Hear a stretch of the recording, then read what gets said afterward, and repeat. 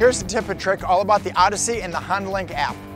From the app, you can actually remote start your car from anywhere in the world. You can see what the interior temperature is, check all the PSI of the tires. You can even see where the car's parked.